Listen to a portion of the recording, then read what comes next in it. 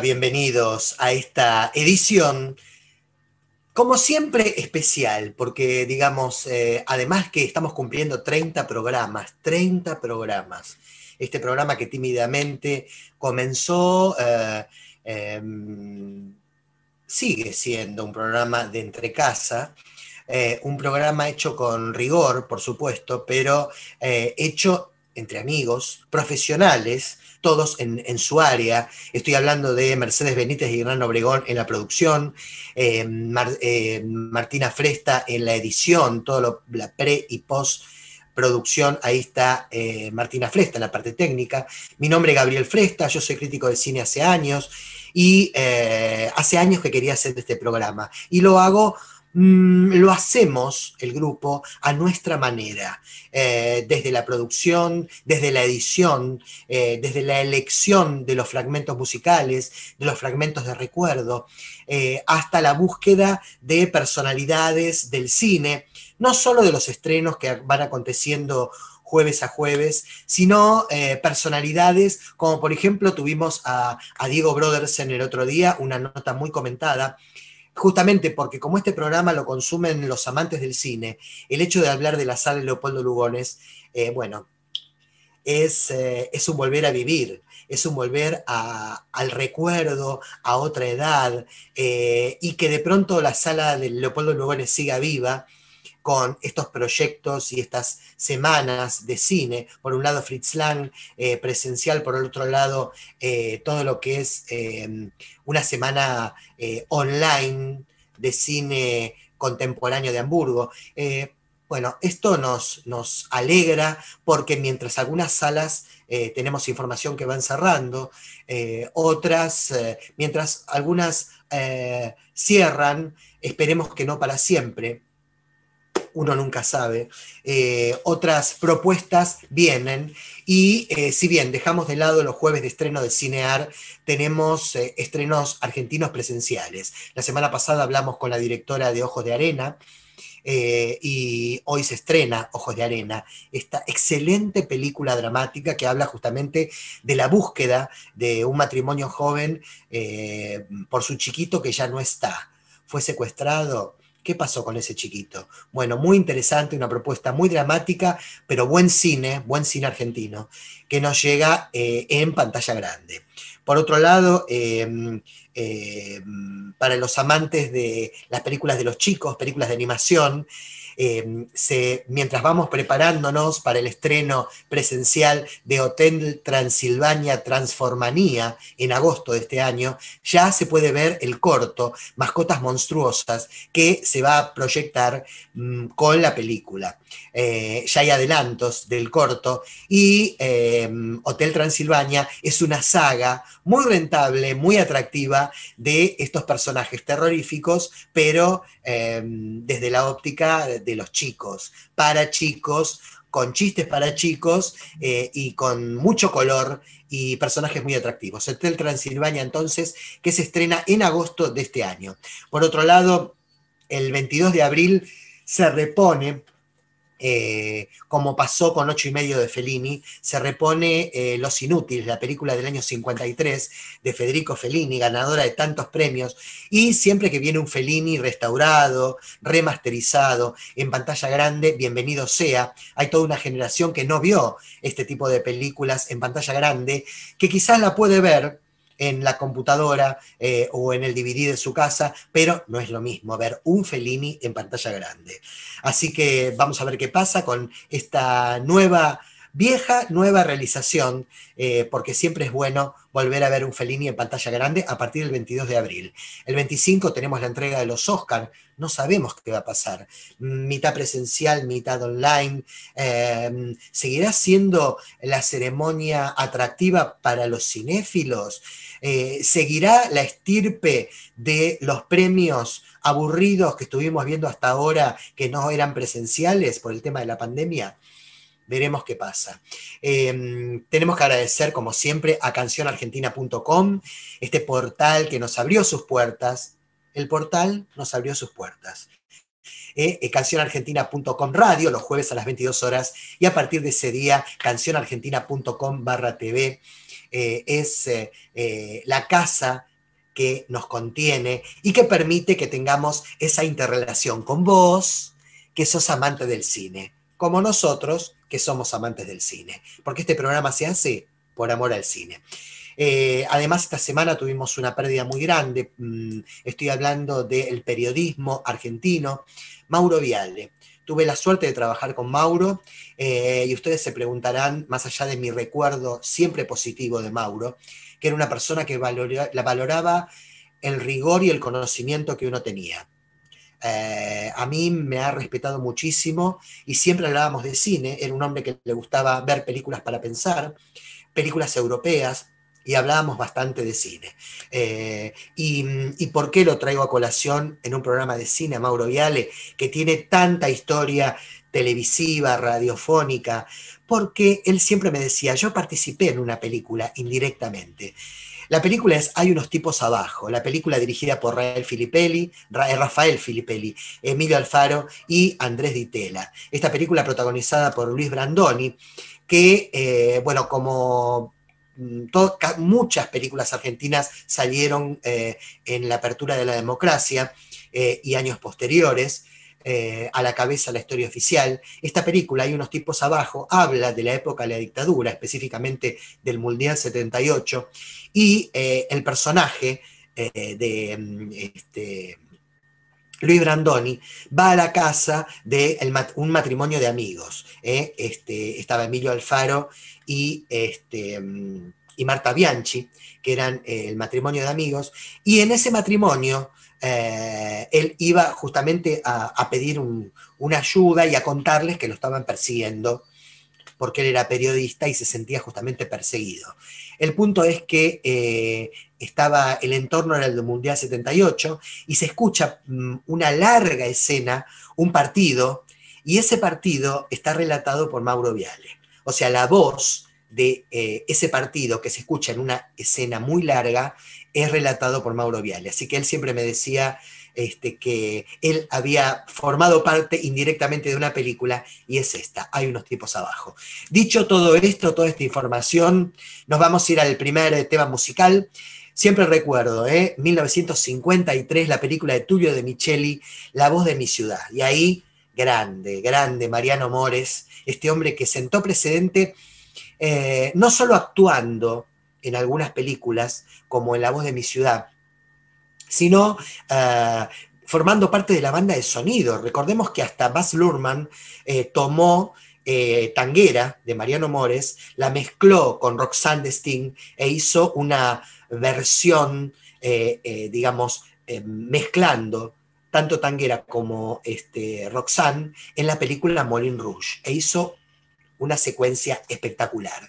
Pero acá lo vamos a ver a, mm, Mariano y a escuchar, digamos, con el piano y con el bandoneón, a Mariano Mores eh, interpretando Taquito Militar, uno de sus temas, y ahí lo vamos a ver de pronto a, mm, este, Diana Maggi, Alberto Dalves eh, y a una muy jovencita, por supuesto, Elena Cruz. Vamos a La voz de mi ciudad, 1953, Mariano Mores.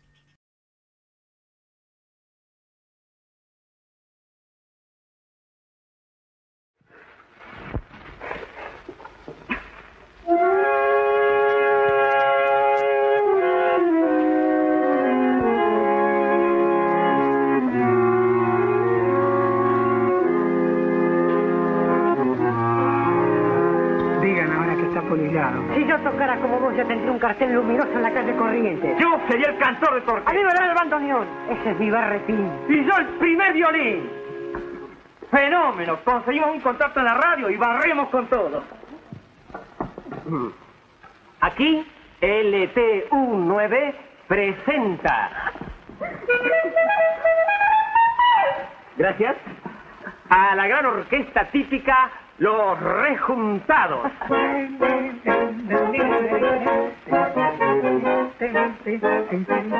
¿Y eso?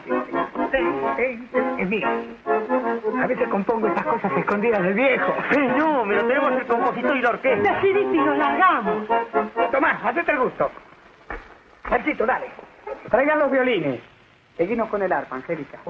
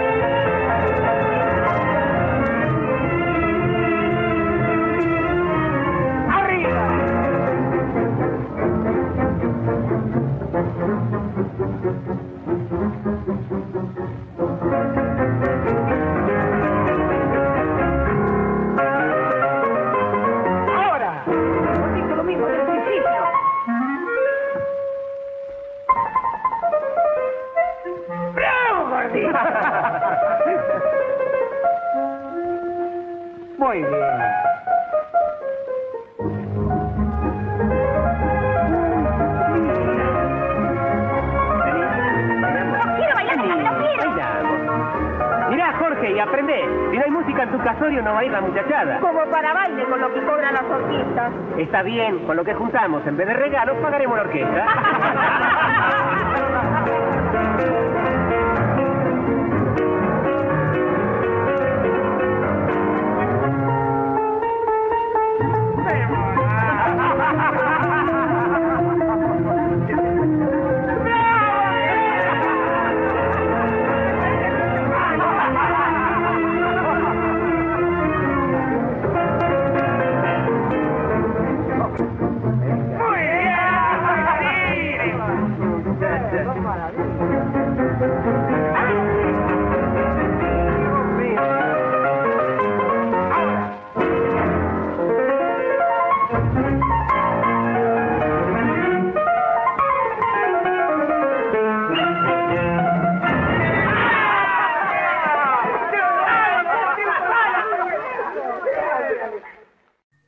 ¿eh? Música, baile y la presencia de estos grandes. ¿eh? Y especialmente a la cabeza Mariano Mores en esta película La voz de mi ciudad, ¿eh? dirigida por Tulio de Micheli y este taquito militar. Y de este recuerdo nos vamos a un estreno.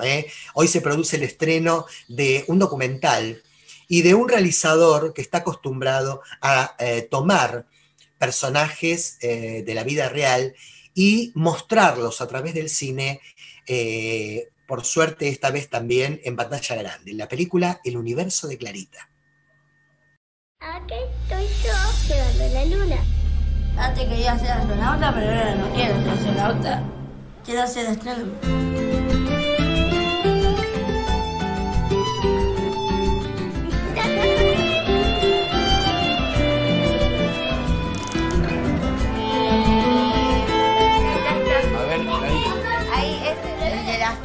Estrellas. La atmósfera tiene eh, partículas de aire y polvo, que eso es lo que va desintegrando el meteorito. Fuiste a un montón de talleres nuestros. Sí. Hiciste casi todos los talleres, sabes un montón, te encanta. Y nosotros tenemos la posibilidad de hacer un viaje para recorrer eh, lugares de acá de Argentina que tienen que ver con la astronomía.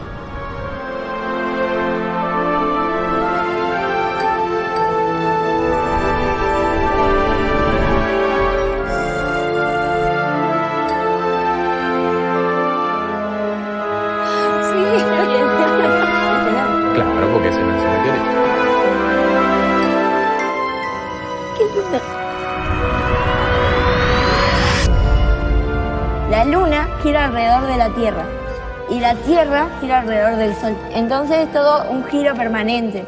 Es Antares. El Sol. Bien, hija. Ajá. Porque yo no creo, posta. Eh, vos sí. Pero vos sos libre de hacer lo que quieras. Te quiero, mami.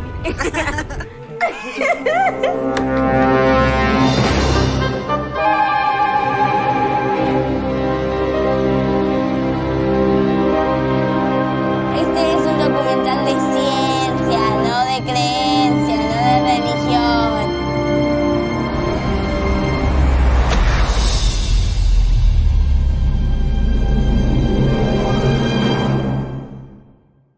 Y acá un realizador que eh, toma eh, la vida y, la pasión, porque es una película sobre la pasión, eh, la que vamos a hablar ahora. Toma la pasión que tiene una chica muy jovencita desde, yo creo que prácticamente desde que pudo hablar. Ella inicialmente quería ser astronauta, pero después se dio cuenta que lo que quería ser era astrónoma. Eh, y para eso está el director, que está acostumbrado a meterse en la vida y en el estilo y en el tipo de diferentes personas a lo largo de su carrera. Eh, eso se lo vamos a preguntar ahora. ¿Cómo elige a la persona a la que va a apuntar, va a disparar y que va a eh, llevarla a la pantalla grande? Tomás Lipgott, ¿cómo te va? Hola, ¿cómo estás? Bueno, muchas gracias por la invitación y por esas palabras. Vos sabés que yo siempre tengo la tentación, siempre que hablo de vos y de tus películas, de decirte Thomas Lithgow. No sé por qué. Bueno, es, el- es más anglosajón, pero es, es Tomás con acento y sin H, ¿eh? Te, te sonó como Sí, un ya sé. extranjero, sí. Pero tu apellido me da Thomas Lithgow. Bueno, está No bien, como, como sea, como te parezca, no hay, no hay ningún problema. No, Tomás, por supuesto. Eh, bueno, siguiendo tu carrera con los documentales que venís haciendo, estamos acostumbrados a que pongas el ojo en eh, personajes muy atractivos. Muy atractivos. Hablamos de Moasir, hablamos de El árbol de la muralla, eh, aquella película, vos sabés que yo doy clases en, en, eh, hebraica, en Amihai y en Acoag a tercera edad, y cuando se estrenó El árbol de la muralla hablamos mucho de la película.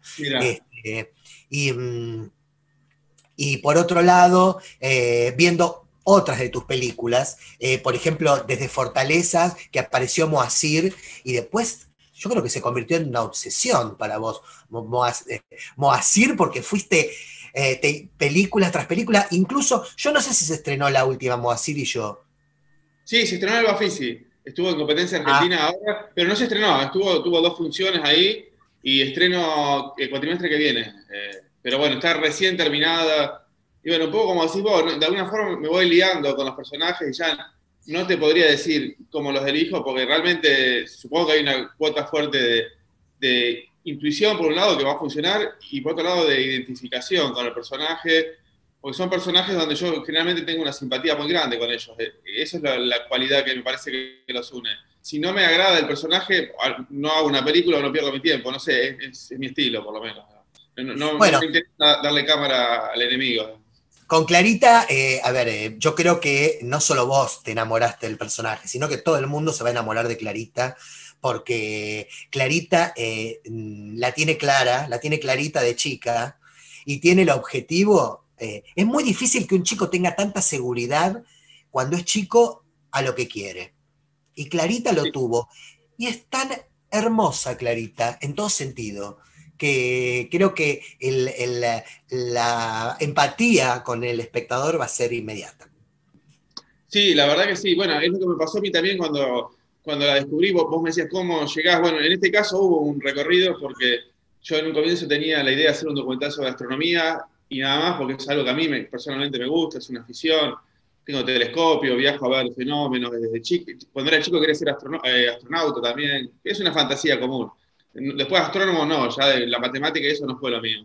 Eh, entonces dije, bueno, hace un par de años mm, se me ocurrió la idea de hacer algo sobre astronomía, pensé que no estaba muy abordado en general, y ahí dije, bueno, quiero hacer algo que no sea este, tan este, académico, tan científico, o científico no, perdón, porque el, documental es científico, tiene apoyo del CONICET, está muy encuadrado, pero que no sea tan solemne. A mí no, no me gusta la ciencia académica, del aula, todo eso a mí no, no, me interesa. Eh, entonces me pareció que, que contarlo a través de los ojos de una niña, un niño, bueno, eh, era la mejor forma. Y bueno, eh, eso fue la, la idea teórica, porque no conocía a nadie. Después empecé a investigar y bueno, fue un camino hasta que llegué a Clarita. ¿Y cómo la, cómo, dónde la encontraste a Clarita? Y lo primero que encontré fue, fueron a Yayo y a Sofía, que son este, Ah. los que dan el taller del proyecto Miradas de Rosario. Ellos son dos chicos que son divulgadores astronómicos, no son astrónomos, son aficionados, apasionados, te diría yo, de la astronomía. Eh, Yayo es carpintero, este, también es comunicador social. Eh, Sofi es maestra jardinera, y son, dos, una pareja divina que transmiten eh, enseñanza de astronomía de una forma experimental y lúdica para niños. Entonces ya eso me, me, me, interesó, me acerqué a ellos, me encantó el abordaje que también que tiene, que es medio social, ellos dan talleres en cárceles, en, este, en barrios populares, eh, me gustó eso de sacar a la, astronomía de la cosa seria, ¿no? Eh, sin perder el rigor científico.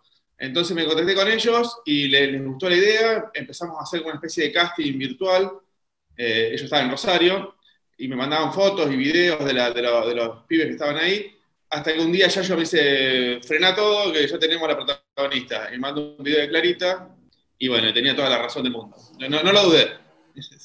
Qué lindo. Y viajé a Rosario a conocerla y todo, pero, pero fue, fue ya enseguida. ¿Cuándo fue? Primero te agradezco que no apareces vos en ningún documental. Porque estoy acostumbrado últimamente a que los directores quieran meterse en el documental, aunque sea poniendo el micrófono.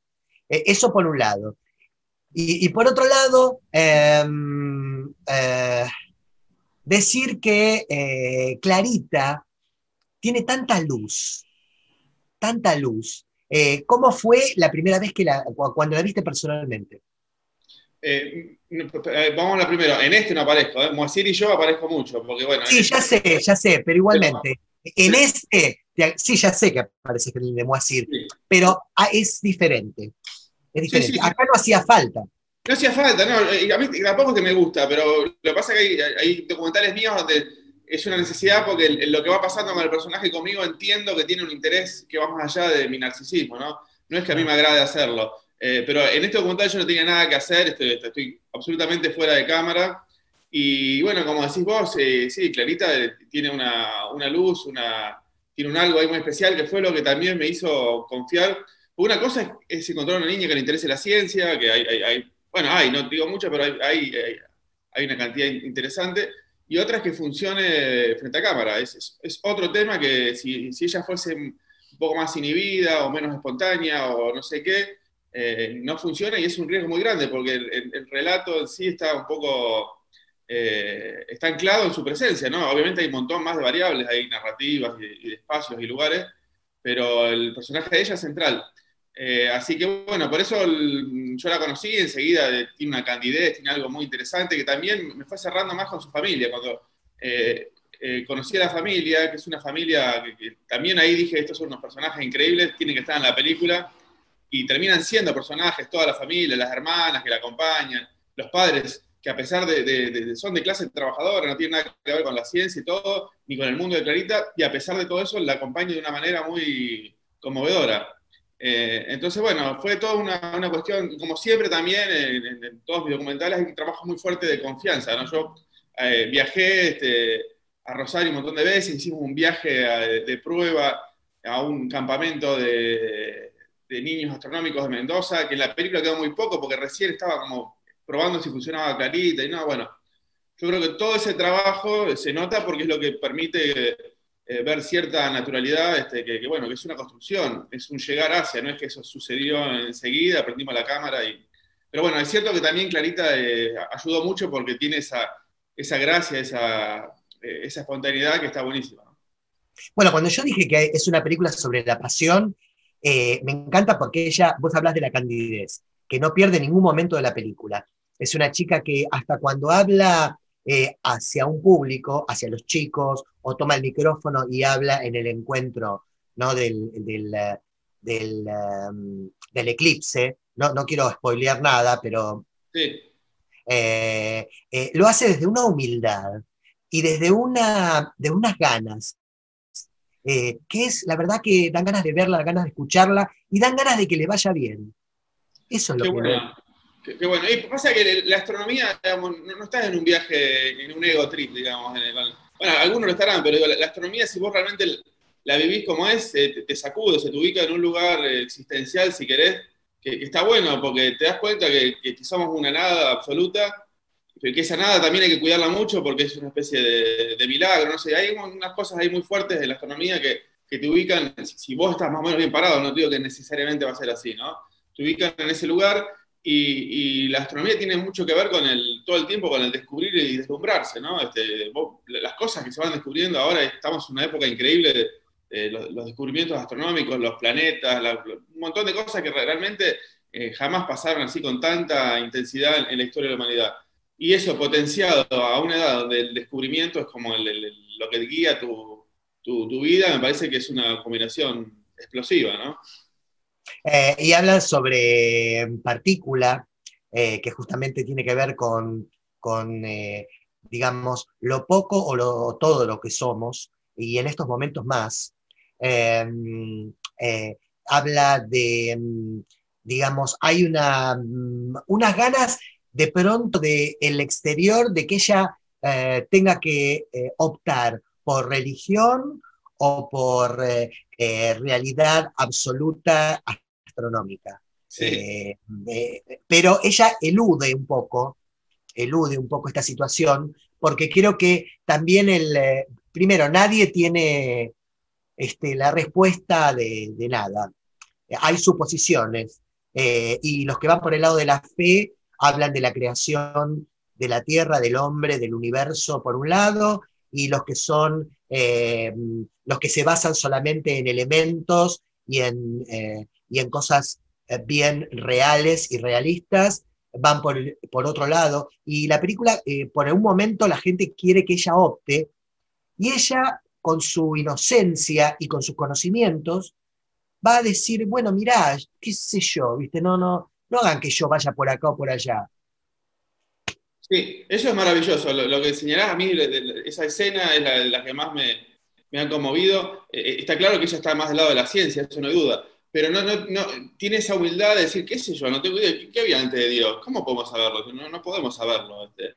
Eh, tampoco hace esa aseveración o tiene esa, cuestión que, la ciencia está muy cargada, ¿no? De, una omnipotencia o de una, una, una, cuestión que a mí tampoco me gusta, ¿no? Este, eh, si bien soy pro científico a full este, y todo, pero también hay un punto que hay que asumir nuestras limitaciones. Y Clarita tiene eso en una escena que es conmovedora porque también, bueno, hay todo un, tema con que ella va a una escuela católica, eh, porque los padres la mandaron ahí, entonces, bueno, hay una escena muy linda también ahí con la madre, que se respetan las diferencias, este, y eso fue, fue muy espontáneo y, bueno, tiene que ver con esto que, que vos contás, ¿no? Igualmente, ojo, la canción final dice, mejor jugar, cantar, bailar y no rezar. Bueno, sí, por eso digo, no, es que no se ubica en ningún lado Clarita, digo, está claro que es un documental, como dice también, este es un documental de ciencia, no de creencia, no de religión, eh, y, es así, pero aún así tiene la, humildad de, decir, no sé, no tengo idea, ¿no? Eh, que, también creo que es parte también de la ciencia, ¿no? De saber que es un camino de, descubrimientos y que, es muy poco lo que sabemos, ¿no? Este, lo que no se sabe es, es el todo, ¿no?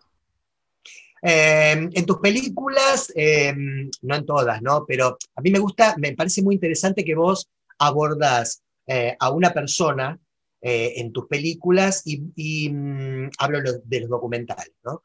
Eh, y de pronto le das un toque, por ejemplo, un toque que era necesario y transformás un momento de la película en Moacir en un musical, con él. Y en esta película que habla de una chica que, tiene pasión por el tema del universo, por la astronomía. En, un momento, eh, en varios momentos de la película eh, le das mucha importancia a la música, hasta incluso el tema del videoclip hermoso, videoclip em, final, donde, eh, digamos, toman parte todo el entorno de Clarita, es como, Clarita es como un, como un sol donde van este, orbitando todas las personas que orbitan en su vida y forman parte de esa canción. Sí, mira, bueno, yo creo que lo que decís eh, debe tener que ver con, una cuestión propia. Yo, nunca soñé con ser cineasta y sí soñé con ser músico. Y inclusive empecé estudiando música, pero me di cuenta eh, al toque, por suerte, me frustré rápido que no, no tenía muchas habilidades. Eh, estudié acá, apenas vine de Neuquén, donde yo soy, estudié un poco de música. No me iba bien en audio percepción. Me yo no, podía entender bien desde el oído la música, me di cuenta como que no tenía pasta para eso. Eh, y me frustré ahí rápido, por suerte, porque no fue un proceso muy largo. Eh, entonces yo creo que eso se nota, porque a mí me, la música me, encanta, o sea, no puedo, no puedo vivir sin música, voy escuchando música. Entonces cada vez que, puedo, colo algo musical en, en, las películas, este, yo creo que debe tener que ver con eso, ¿no? Probablemente. Y está Pablo Urristi con la música, con una banda de sonido este, muy eh, no, no me gusta decir la música acompaña porque es una frase hecha, pero eh, evidentemente hay un estudio de cada momento y, cada momento musical eh, se luce la música. más allá de Lucrecia Aragón y Julieta Micheletti, que hicieron las canciones. Exacto. Mira, lo, de Pablo es una cosa increíble, es un, es, un monstruo que ya empecé a trabajar en, mi película anterior, Vivo el Palíndromo, y ahora hicimos también este, la música de Moacir y yo, que no se puede creer. Y eh, la verdad que no, es, fuera de serie, porque tiene una forma de entender las escenas desde lo musical absolutamente, este, no sé, no quiero decir mágica, pero yo le paso algo y me manda la música y es esa. O sea, nunca le, la otra vez le quise hacer una corrección y después me di cuenta que no, que era un error mío, que lo que me mandó estaba bien. Agarra, interpreta, este, hablamos un poco, ¿no? Tiramos unas ideas para dónde hay que ir, qué sé yo, y, él es, así es una bestia, te graba todo y te manda mezclado y unas cosas que calzan de una manera tremenda. La verdad que para mí este, laburar con, con Pablo es un privilegio y, en esta película eh, eh, más allá también de las canciones que hizo Lucrecia Aragón y, y Julieta, la, la hermana de, de Clarita, la- las partes musicales, este, que yo también ahí tuve que vencer un prejuicio propio, porque yo, toda esa utilización como decir, bueno, vamos a meterle música para generar emoción, me parecía como una, una cosa, una grasada. Me di cuenta que era un prejuicio mío y que tiene muchos, ¿no? Dije, ¿por qué no meterle rosca para generar emoción si eso es genuino? Vamos a darle con todo. Y así hicimos. Entonces, ¿qué es lo que hace Hollywood? Lo que hace un montón de, de la industria del cine, ¿no? De usar la música para acompañar. Para, para mí, mientras no sea eh, rellenar algo que no existe, que eso puede ser un error, y sea acompañar y potenciar, vamos para adelante, no hay ningún límite. Entonces le dije a Pablo, vamos a darle roja con todo, para el final sobre todo, ¿viste? Ahí vamos a darle un montón de... Porque si queremos que la gente se emocione, hagámoslo. ¿Cuál es el problema? Digo, es, decir, es lo más lindo emocionarse. Si lo Bueno, logramos, total. genial. Total, total, lo has logrado en la parte del eclipse con esa música eh, que, que lleva, bueno, eh, la diferencia entre drama y melodrama, eh, digamos, activar la palabra melo, música, así que, digamos, eh, Claro. vos lo que hiciste es darle el elemento para que active aún más el drama, eh, no el drama, lo dramático, lo emotivo. Lo motivo. Sí. Que es la función de- también de, lo, de, qué sé yo, del arte, y me parece va, va por ahí. Si lo- logramos generar eso, que no es fácil tampoco, ¿eh? Este, es, es toda una, una construcción que tenés que llegar, digo, no, no lo vas a hacer por meter música nomás, eso está claro, o sea, te tenés que hacer toda una, una serie de, variables, si querés, aristotélicas. Yo, hago documentales, pero siempre tengo una estructura como muy clásica en eso, ¿no? De narrativa, de personajes, de crecimiento, algo dramático. Yo a eso le doy bola, a, pesar de que no son ficciones, ¿no? Porque me parece que, que eso, de alguna manera, en, lo que es el relato y el entreten- entretenimiento, funciona, ¿no? Este, sin duda. Eh, bien, el universo de Clarita se estrena hoy, jueves, eh, ya lo pueden ver la gente en salas. ¿Cómo te llevas con eso como para el final? Pues se lo estoy preguntando a, todos los directores con quien hablo. Eh, con el hecho de que de pronto Cinear te permitía en la pandemia tener un estreno eh, que veían más personas que las personas que iban al cine, al Gomón, por ejemplo, eh, si la película se estrenaba solo en el Gomón. Vos querías que la película se viera en pantalla, querías que la vieran más gente, aunque fuera en televisión. ¿Cómo, cómo, cómo te llevas? Y yo creo las dos cosas. Me parece que, el, el- el- claro, el camino que, que habría que, me parece que también va a estar por ahí, no solo una cuestión mía. Eh, un, escenario mixto me parece que, es bueno, sobre todo para estas películas, los, documentales, que ya antes de la pandemia y todo venía muy mal. O sea, el- porque no, no hay mucha, no había mucha sala, la gente que consume documental no va tanto al cine, entonces eh, a mí el cine es lo que más me gusta y, pienso en las películas para cine, de- mezclo 5.1, color, todo, y va todo para ahí. Después que se vea peor calidad, bueno, no hay problema, pero yo lo hago lo mejor posible porque amo el cine, la experiencia del cine y todo, y no quiero que se pierda. Pero también me parece súper válido que los documentales o las películas de argentinas eh, encuentren más espectadores, y si eso es a través de la televisión, bienvenido sea. Así que ojalá que el futuro, este, que está tan cambiante y estamos ahí en, un momento así de- de- de- de mucha transición, vaya para ese lado, porque yo creo que va a ser así, va a ser toda una, una mezcla de lo online y lo, y lo presencial. Total. Bueno, pero por lo pronto tenemos el universo de Clarita a partir de hoy en salas para que vean en pantalla grande con todos los protocolos. Eh, estuvimos hablando también y festejando la apertura del Gomón, no porque eh, el cine, las salas de cine tenían que tener función y apertura sea como sea, no, no, tenía que ser, eh, digamos, teniendo en cuenta lo que está pasando, tenía que ser con los protocolos, si no, no tenían que abrir las salas. Pero como se activaron y comenzaron con el tema de eh, el saneamiento de las salas, el alcohol en gel, eh, la, digamos, la distancia entre espectador y espectador. Así que todo eso está estudiado y se puede ver, por ejemplo, el universo de Clarita a partir de, hoy. Eh, Tomás, la verdad, te felicito por la película porque es muy refrescante. Y es una película que en un momento donde hay mucha gente en, en la casa invita a mirar para arriba, a mirar para el cielo eh, también. Y, bueno, y se ha instalado el universo de Clarita ya dentro de los estrenos, así que vayamos al cine a verla. Bueno, muchas gracias por la invitación y si quedan invitados a, ver la película y sobre todo a, cuando termina a mirar para arriba, al cielo y a, recuperar una costumbre que hoy en día está un poco perdida porque estamos viendo más el, mundo a través de las pantallas y no del contacto directo, que es un poco lo que espero se transmita en, en esta película. Totalmente. Tomás Lipgott, director de El Universo de Clarita. Muchas gracias. No, muchas Eh, y seguimos en el programa del día de hoy eh, con. Hoy tenemos muchos fragmentos musicales que tienen que ver con el tango. Eh, nosotros tratamos de mm, poner un Sandro, un Palito Ortega, mezclado con Tita Merelo, con un Hugo del Carril. eh, pero bueno, hoy salió muy tanguero el programa. Comenzamos con Mariano Mores y seguimos con Tita Merelo. Eh, eh, la película del año 49 es Historia del Tango, dirigida por Manuel Romero, y ahí la vamos a escuchar a la gran Tita Merelo, mm, con todo su estilo personal que a mí básicamente nos encanta. Qué bueno es cuando una actriz canta o, una cantante actúa. En el caso de Tita Merelo, marcó toda una época en el cine dramático argentino y, y también tenía, sin tener una gran voz, una voz descomunal, tenía un estilo personal y único. La escuchamos y la vemos.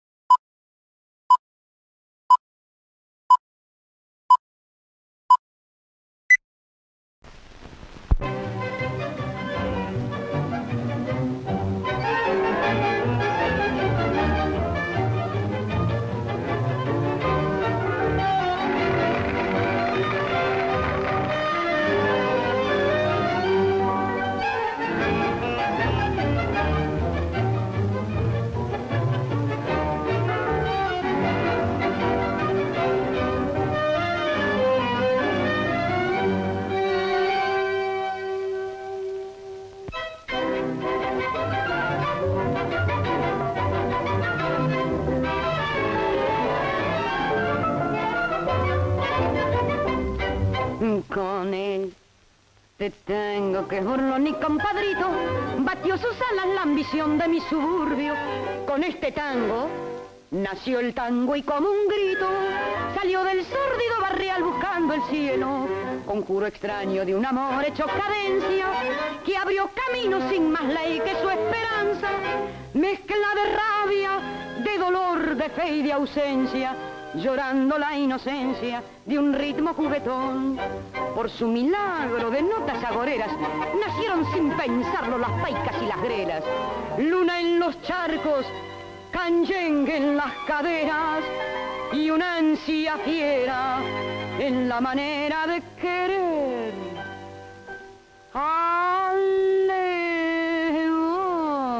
Alevocarte. Tengo querido Siento que tiemblan las baldosas de un bailongo y oigo el rezongo de mi pasado.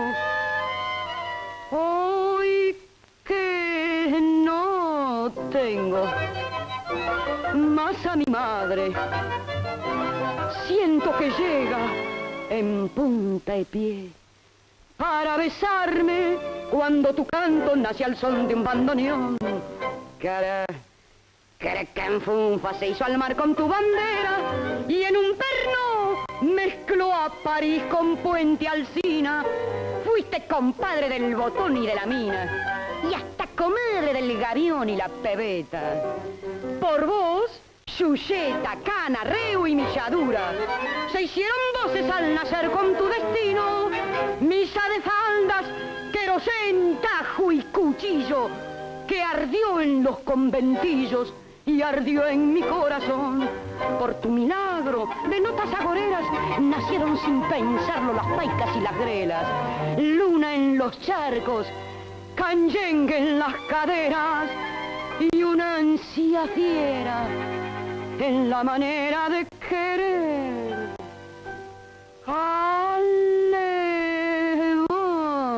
Alevocarte. Tengo querido Siento que tiemblan las baldosas de un bailongo cuando tu canto nace al son de un bandoneón.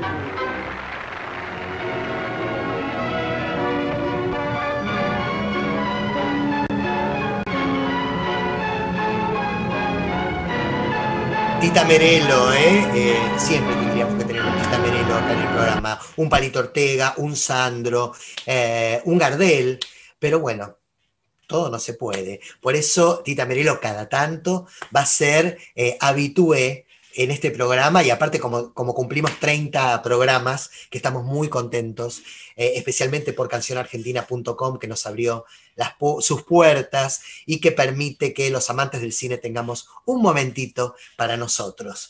Em, y de Tita Merelo, les cuento algo por la próxima nota que viene ahora. Eh, la semana pasada estuvimos hablando con Diego Brodersen de la sala Leopoldo Lugones y de lo que significó y de lo que significa para el cinéfilo una sala eh, que estuvo tantos años dedicada al cine. Eh, hablamos de tres nidos habitués para todos los amantes del cine, estoy hablando de varios años atrás. Uno era la Leopoldo Lugones, otro era la Cinemateca en Hebraica, en la calle Sarmiento y Pasteur, y otro, sin lugar a dudas, era el cine Cosmos. Ahí veíamos retrospectivas, estrenos. Era una sala que tenía un color, un olor propio. Eh, y que eh, era esencial en un momento donde no había eh, ni videocaseteras, ni VHS, ni cable para ver una película, y nosotros teníamos que, cuando estudiábamos cine, y, el eh, director del, instituto donde yo estudiaba así nos decía, la semana que viene hay una semana de cine ruso en la Lugones, ¿eh? Anótense, tú, tú, tú. Y ahí anotábamos nosotros. Yo no anotaba porque yo ya era habitué de la sala este, del Cine Cosmos mucho antes de entrar a estudiar cine. Mm, y, como este es un programa para cinéfilos, vamos a una nota temporal, una nota de que a mí me gustan todas las notas, más allá de hablar de un estreno, pero me gusta también eh, recordar los momentos de placer que me ha dado esta sala que está unida a un apellido, Vainikov.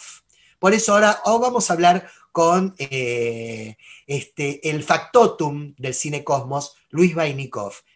Hola Luis, hice toda una presentación espectacular que no escuchaste, Luis. Así que bueno, te vas a enterar de todo lo que dije del cine Cosmos y de la familia Vainikov cuando veas el programa completo. ¿Cómo andás? Gabriel, ¿cómo estás vos? Bien, bien de hablar con vos. Decía hace un ratito que el éxito que tuvo la nota de a Diego Brodersen y el recuerdo a la sala Lugones, eh, quería repetirlo con vos porque era un triángulo cuando, cuando yo estudiaba cine y antes también. Para los cinéfilos era la hebraica, la Lugones y Cosmos. y en algún momento se eh, unió Leaf también. Sí, pero era intermitente. Era intermitente, sí, hacían cosas en forma intermitente. Mm. Pero bueno, sí, era una época que irrepetible qué bárbaro, qué panzada. Yo decía, no había ni, ni, los VHS teníamos. Y para ver una, una, semana de un director o una semana mm, este, especial que nos daba el Cosmos, de películas rusas de pronto eh, antiguas, que se repetían eh, cantidad de veces, o películas nuevas eh, rusas o una semana de cine ruso, eh, eh, de cine contemporáneo, para los que no teníamos acceso a una película. Sí, eso es algo que yo creo que es muy difícil de volverlo a repetir. Eh, los tiempos van cambiando, el público fue cambiando, los gustos van cambiando la modalidad de ver cine, desgraciadamente, fue cambiando también. Eh, la gente consume no cine solamente, sino consume todo lo que aparece eh, por estos medios, ¿no? Claro. Que no es lo mismo, que era un poco lo que hablaba vos con, con Robertson el otro día, digo, que, no, no, es igual, el cine es para verlo en el cine, para eso se hizo. Mi padre siempre decía que el cine estaba, eh, la idea del cine era verlo en una sala grande, con una pantalla grande con mucho público, porque era un espectáculo masivo que había que verlo en un lugar muy específico.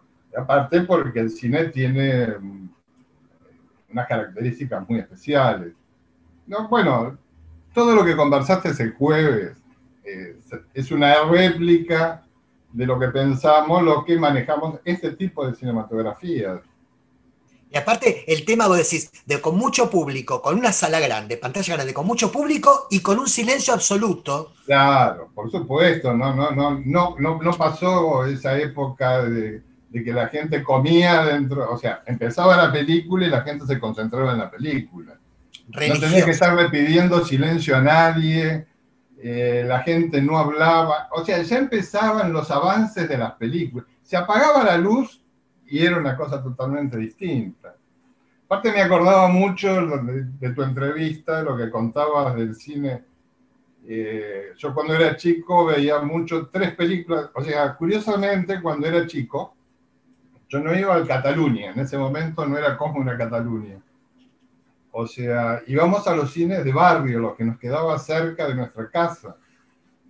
Y, o sea, yo vivía en la provincia, muy cerca de la zona de Mataderos, donde eh, ahí estaba el California y el cine Gran Buenos Aires.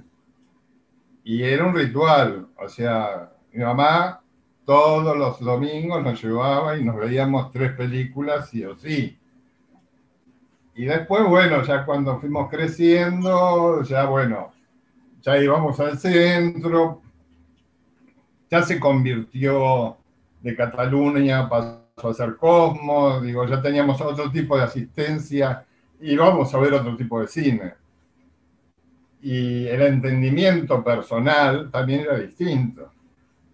Pero bueno, famosas las tres películas. O sea, y a mí me tocó una época todavía de Cataluña, de, del acto vivo, ¿no? Que estaba el señor con el piano este, tocando en el escenario. Qué bueno. Eh, pero... Que yo, no, yo no vi acto vivo, sí las tres películas en mi cine de barrio de caseros, que era el Paramount y el Urquiza, eh, Claro. y veíamos las tres películas que después pasaron a ser dos. Lo que Eh, pasa es que en los barrios, en los, ya en los más barrios, no había acto vivo, pero en las salas más cercanas al centro todavía se mantenía el acto vivo.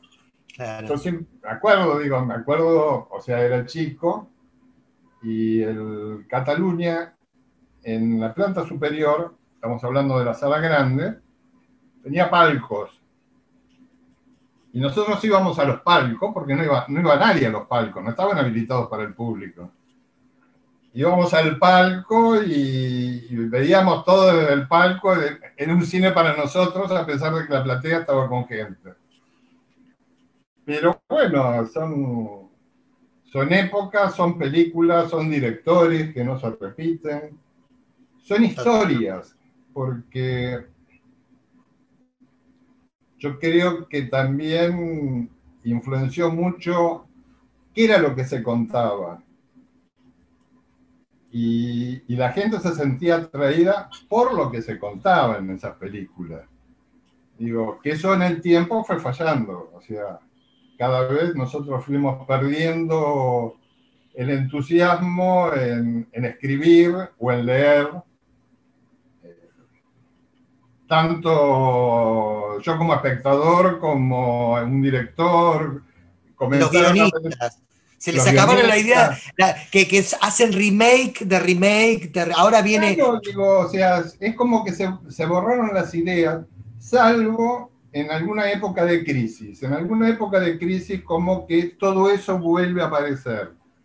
Pero ya hemos pasado unas cuantas crisis y sobre todo en el cine argentino aparece muy poco. Ah, En el cine internacional, digamos, poco y nada. Y, y todos se dedicaron a hacer copias. ¿Por qué es la decadencia del cine ruso? Porque se dedicó a copiar el cine americano. Empezó a hacer malas copias del cine americano y eso a la gente no le interesa. O sea, quería ver el cine verdadero y cuando comienzan a hacer copias del cine americano y malas, sí, claro. comienzan a surgir otra cinematografía, comienzan a surgir los iraníes, por ejemplo, que la gente le gustaba esa temática, quería ir a ver entre eh, las películas iraníes y las películas rusas de esa época, o sea, de la época anterior, no hay mucha diferencia. Eh, no es que hubo el, gran descubrimiento, no, eran auténticas, mostraban a, a su pueblo tal como era, este, historias propias, que quizá técnicamente no era lo mejor que podía suceder, pero que en la historia eran verdaderas. O sea, y la gente se siente identificado con eso. Eh, haciendo un poquito de, de historia, porque a mí me gustaría que contaras un poco eh, cómo la familia Vainikov, no Luis Vainikov, la familia se, me- se metió con eh, Arquino Picture, eh, Arquino, va, no, Picture no, Ar- Arquino, el sello, y cómo se metió- Era Arquino Picture. Era Arquino Pictures de la Argentina. Ah, claro, claro. Eh, mira, todo esto nace en Estados Unidos.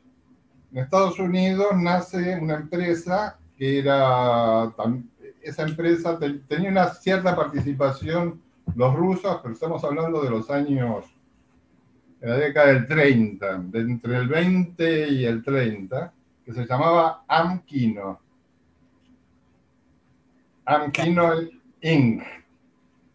Eh, esa empresa estuvo hasta los 40, que se funde, o sea, desaparece, pero que estrenó una cantidad importante de películas rusas de aquel tiempo. Estamos hablando de casi todo lo que es el cine. este, Eisenstein, por ahí, no. claro, exactamente. Los, los comienzos del cine soviético. Claro. Uno de las personas que trabaja en Amquino, que era parte de Amquino, pero bueno, digamos que era como un empleado jerárquico, funda Arquino Pictures de Estados Unidos. Con la idea, ya ahí tenían una idea un poco más amplia de hacer como las, las medios, de poderse extender a toda América y distribuir el cine ruso por toda América. Problema que no sabían cómo hacerlo, cómo manejarlo. Simultáneamente con eso, con esta historia, surge en, en la Argentina, que curiosamente en la Argentina las primeras películas rusas que vienen al país las trae este, un tío, el hermano mayor de mi papá, que se llamaba Bernardo, que es el abuelo de Sergio Vainikov, el músico. Claro, claro. Él trae las primeras películas eh, rusas que funcionan muy mal. Entonces, este, no, no- no iba nadie a verla. Pero bueno, a partir de ahí comienza la idea de mi padre, apoyado por Botana y apoyado por un núcleo de gente, de comenzar a dar películas, o sea, de traer películas rusas y poder dar películas rusas. Mi padre se asocia con Duncan Aimes, que era este, un empresario este, que se dedicaba a la industria farmacéutica, a importar productos este, de Alemania para farmacia. Muy relacionado, era un tipo que estaba muy bien ubicado en la sociedad argentina y con conexiones en Estados Unidos. O sea, tenía parte de su familia en Estados Unidos. Ahí viene este, un poco la relación con el creador de Arquino, que es Nicolás Napoli. Entonces, el problema es que Duncan de cine tampoco sabía nada. Mi padre, que era muy aventurero en toda esta historia, le propone hacer Arquino en la Argentina, y una vez que se hace Arquino en la Argentina, que se firma por Arquino en la Argentina, Napoli le propone organizar los arquinos que iban a existir en distintos países. Entonces mi padre comienza a viajar por conexiones, en ese momento eran por conexiones políticas, este, y empiezan a armar. Eh, se, se arman en Perú, hubo arquino de Perú, hubo arquino en Ecuador, hubo arquino en Panamá. este, hubo Pero en perdóname, y con base en la Argentina estamos hablando.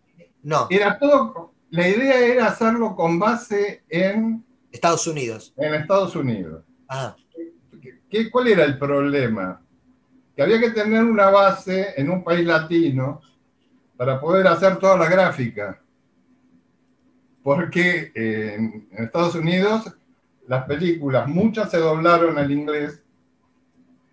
O sea, muchas de las películas, sobre todo los documentales, estaban doblados en inglés, pero no tenían subtítulos en español. Claro.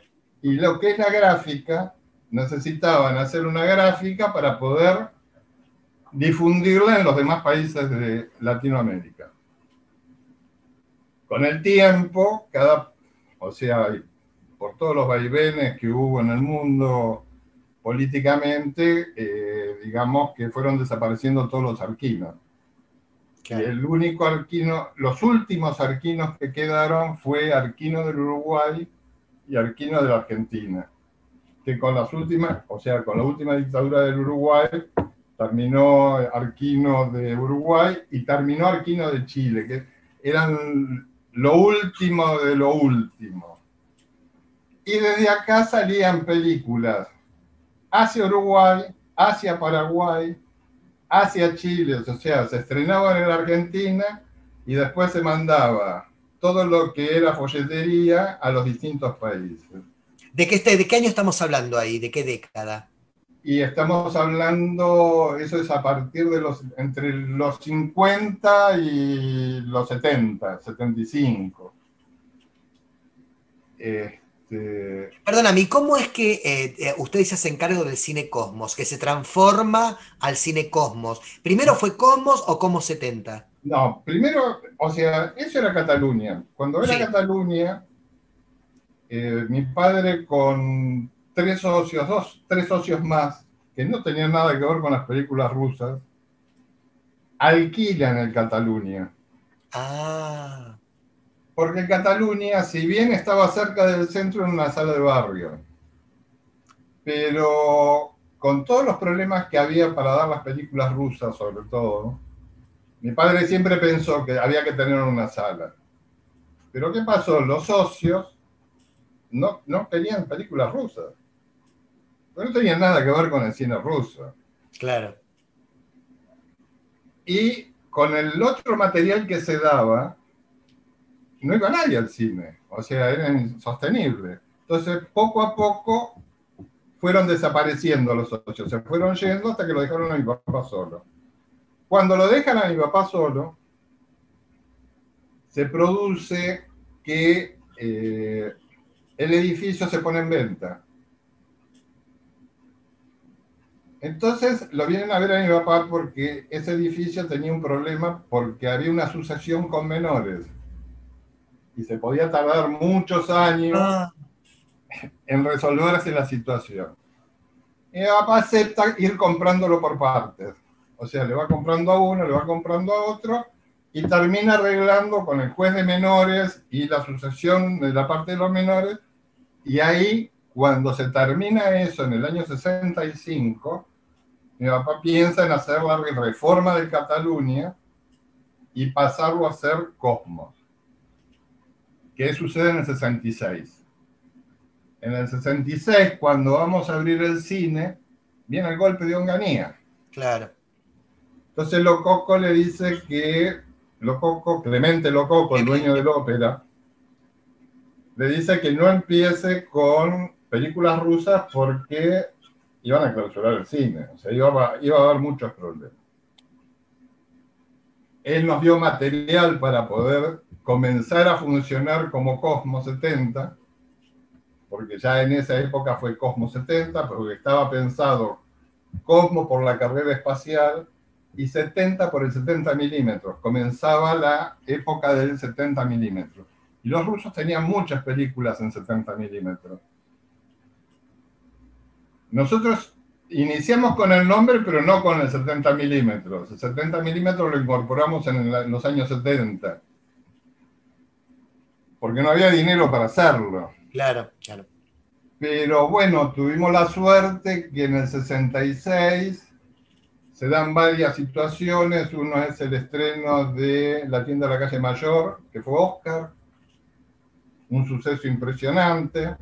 En el año 68 se da el estreno de La Guerra y la Paz, que fue un, un éxito, pero también impresionante, y eso nos dio aire como para comprar 70 milímetros Ah, traer los proyectores nuevos, que se trajeron los, los, los se compraron en Italia, y ahí sí era realmente el Cosmos 70. como 70 con 70 milímetros. Yo, mi fantasía era, como, como comenzó en los 60, de una manera futurista, pensaba en la década del 70, entonces no, era por No, 70 No, milímetros. no, era por el 70 milímetros, y ahí, porque nosotros comenzamos a traer sobre todo muchas películas de ballet que estaban Sí, en 70 claro. milímetros, y que eran un éxito, pero ¿qué pasaba? Las salas comerciales sucede más o menos lo que sucedió siempre. La película funcionaba una semana, podía tener mucha gente, pero la semana siguiente te la querían sacar. Claro. Eh, entonces ya estábamos un poco como cansados de esa historia que se repetía, se repetía, se repetía. Entonces la única manera era tener el resguardo. El problema también era que el cosmos era considerado, porque había una clasificación de salas en la cual desde Callao hacia Purredón ya eran salas de barrio. Dos cuadras, pero Dos eran cuadras y solo- eran salas de barrio. Bueno, también se modificó eso con el tiempo y se incorporó el Cosmos como sala de centro. O sea, podía ser sala de estreno, no una sala de barrio. A nosotros no nos afectaba, pero al público sí le afectaba. O sea, porque el público no era lo mismo. Para cierto público no era igual. Para otro público le daba exactamente igual. Claro, claro. Bueno, y ahí comenzó toda la historia de lo que fue Cosmos hasta que se cierra la primera etapa. Eso fue en los años 80 y... 80 y tanto, 80 y... 87, 88, que se termina por cerrar el cine, que se, este, porque no daba económicamente tampoco. A ver, los rusos habían prometido para toda esta transformación que iban a dar un apoyo. Pero en esa época, simultáneamente, eh, se abre en París el cine Cosmos y cambia la política, entonces todo el apoyo y todo se lo empezaron a dar al cine porque era más rentable, claro, era París. Y ellos querían estar en París, no querían, o sea, a la Argentina les interesaba, pero no tanto. No tanto, que Y claro. por otro lado, la persona que hacía mucha presión, digamos que ya no tenía tanta injerencia, pero sí hacía presión desde Estados Unidos, fallece también, que era Nicolás Napoli. Entonces ya el peso político no era el mismo. Y también van cambiando las políticas eh, en la URSS. La URSS tuvo unos cambios este, dentro del mismo sistema. eh, hemos tenido películas, hemos comprado películas que una vez que llegaron a la Argentina eran prohibidas en la URSS. Ah, mirá vos. Bueno, te das cuenta que. como eran prohibidas, vos no las podías dar. Claro. Entonces le pedían a mi padre que la destruyera y este, que le compensaban con otra película, cosa que era muy difícil de hacer. Bueno, me hablaste mucho, mucho de historia. Ahora yo quiero ir eh, a cosas puntuales, ¿no? Eh, eh, para los cinéfilos, bueno, cada cinéfilo va a tener, en cuanto a la edad que tenga, eh, sus recuerdos con el cine Cosmos. Eh, el mío es, por ejemplo, cuando a mí me preguntan cuál es la película que más viste en cine, y La balada del soldado, nueve Ah. veces en el Cosmos. Sí, O sea que fui, era el momento donde pagaba la entrada, ¿no? sí. Este, entonces iba al Cine Cosmos a ver La balada del soldado, que era, eh, no, no sé si sigue siendo mi favorita, pero mm, eh, Son esas películas que te marcan, digamos. sí, pero más que, más que otras. Eh, Claro, hay, hay películas que son muy. Digo, La balada del soldado, eh, Pasaron las grullas, El 41. El 41, eh, El destino de un hombre, El fascismo al desnudo. O sea, fueron todas películas que han marcado Sí, claro, vida. Desgraciadamente, hay, hay algunas películas. eh, en la Argentina hubo una disposición y vos no podías tener las copias en tu propia oficina, porque era material inflamable. Inflamable, claro. En el año, allá por los 50, nosotros dejábamos las películas, teníamos guardadas las películas en la calle Uriburu. Había un estudio, de, el estudio Cristiani, que estaba entre Uriburu, en Uriburu, entre Corrientes y eh, Y la Valle. La Valle, que como Cristiani le iba muy mal como director, porque como director, o sea, creo que hizo dos películas y nada más, eh, utilizó el espacio que tenía como para depósito de películas, pero se prendió fuego. En esa, ahí perdimos cantidad de copias, cantidad de copias que después fueron muy difíciles traer. Una de ellas, por ejemplo, fue, fue Flores de Piedra, donde gente que la ha llegado a ver, cuando abrimos el cosmos, siempre nos preguntaba, ¿y Flores de Piedra va a volver a darse algún día? O sea, fueron películas que en su momento marcaron toda una historia para mucha gente. Claro, la- uno la ve con ojos de hoy y este, está bien, es simpática, pero, No importa, no importa. Hay películas que, como decís, marcaron, nos marcaron. marcaron, digo. Ahora, volví a hablar esta semana que pasó eh, de una película que a mí me. mm, La vi en su momento cuando se estrenó, se estrenó en el Cosmos, y eh, si uno la ve ahora, todavía me sigue produciendo la misma sensación de terrible, que es la de Ellen Klimov, Masacre, Venga y Vea. Este, bueno, eh, y justamente tenemos gente en común. Alejandro Cisco tiene una página en Facebook que se llama Aquel Cine del Ayer. Y yo Sí. le pedí una película del 2019 que, eh, que no la había visto, que pasó por los festivales, que todo el mundo dijo muy fuerte, y que yo cuando leí de qué trataba dije, uy, es similar a, a un chico en, en la Polonia de la preguerra, cuando ya está viviendo la Segunda Guerra Mundial, este, en una aldea, que se llama El pájaro pintado. Eh, la vi, me pareció imp- impresionante, muy fuerte la película, y inmediatamente puse en el, en el Facebook que me hacía acordar a Masacre Venga y Vea, a lo que Alejandro Cisco subió Masacre Venga y Vea para que la gente la pueda no disfrutar, porque no es una película para la palabra no es disfrutar, pero para ver buen cine y cine movilizante. Este, y me acuerdo como si fuera hoy, cuando la fui a ver al estreno, eh, salí muy conmocionado y en el hall del hotel, digo esto como una de las anécdotas que me pasaron en el Cosmos, una mujer que le gritaba al marido, pero a los gritos, te dije que no quería ver esta película, te dije que no me traiga, pero a los gritos, por, digamos, estamos ante una gran película, ¿eh? pero una película muy fuerte. Y, mm, y esto me pasó pocas veces en la vida, y me pasó en el, en el hall del Cosmos, ponele.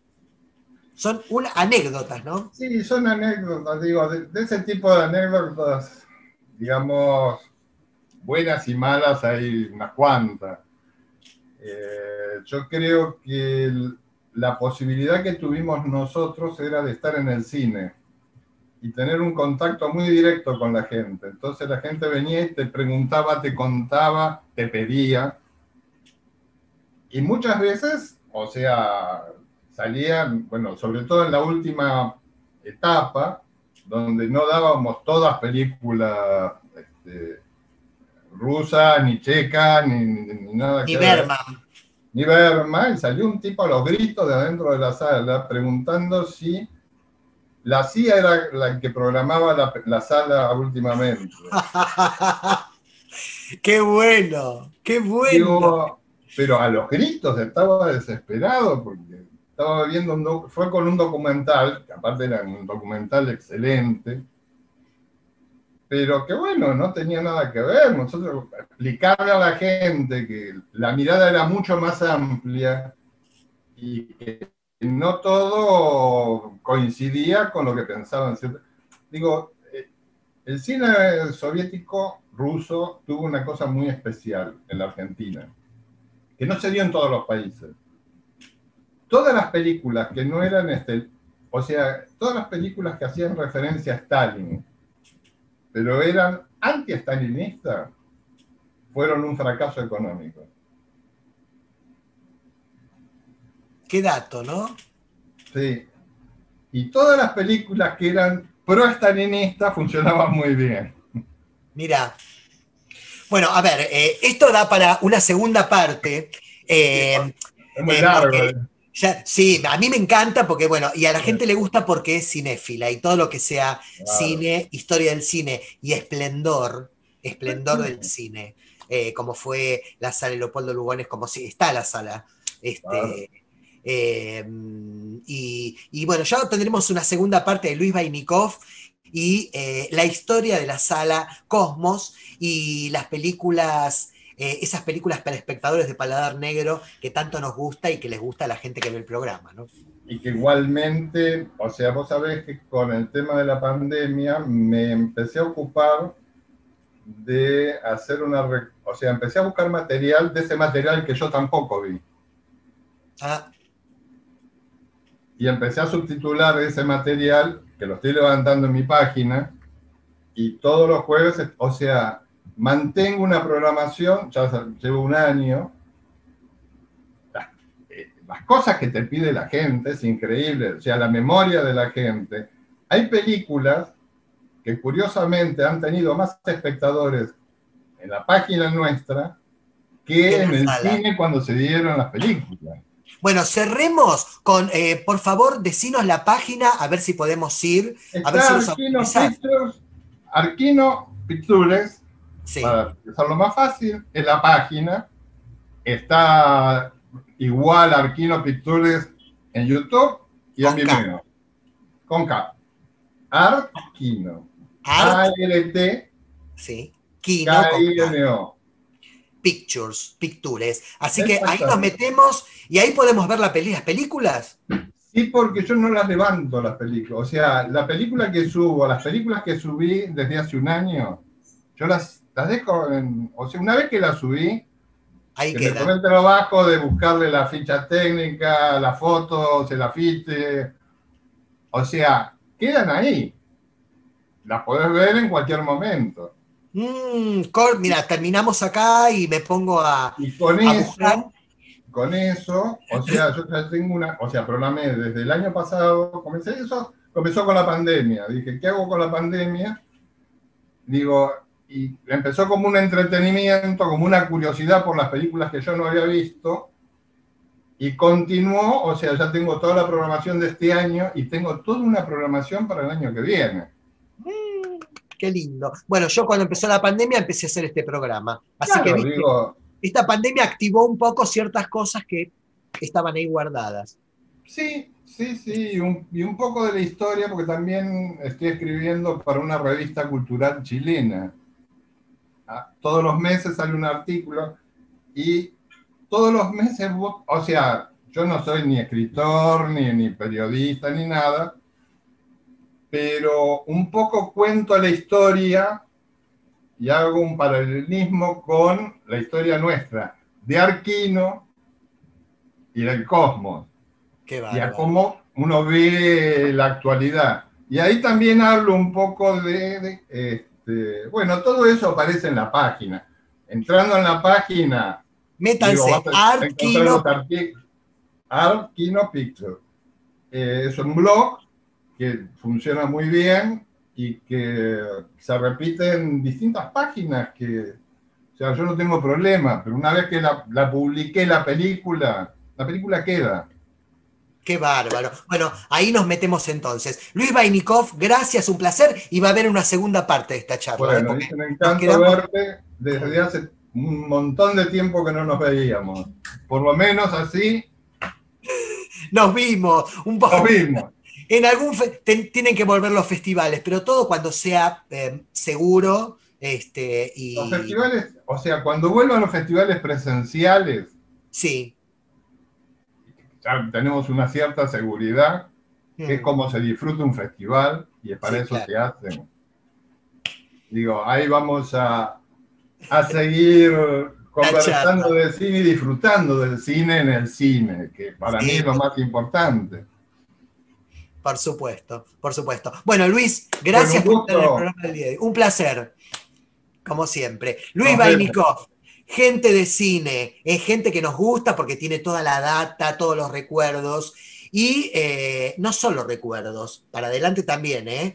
A meterse en la página. Hoy, Sí. hoy sale Dos de Kurosawa. ¡Uy, Kurosawa! Claro, ¡Qué bueno! Siempre bueno un Kurosawa. porque la idea es todo lo que se proyectó en el cosmos y todo lo que distribuyó Arquino. Qué lindo la del profe. Qué lindo. Dodescade, me encanta. Bueno, eh, ya sé que estaba concebida para cine, pero mientras tanto la vemos en la página de Arquino Pictures. ¿eh?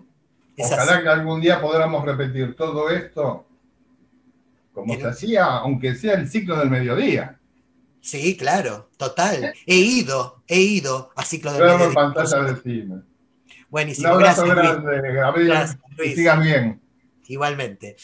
Y de Luis Bainikov nos vamos al final del programa. Ya no tenemos más tiempo. Habíamos programado otro fragmento musical, pero siempre es lindo escuchar y revivir aquellos momentos cinematográficos de esplendor que nos dejó, por ejemplo, eh, el cine Cosmos 70. Y como siempre nos vamos con la claqueta. La claqueta que es sinónimo del final del programa y que nos dice que termina la edición de hoy de Festival de Cine. Los esperamos ¿eh? con el, el- el- el capítulo número 31. ¿eh? Hoy cumplimos años redondos. Eh, capítulo número 31 de Festival de Cine. Hasta la semana que viene y gracias por estar. No, gracias a vos.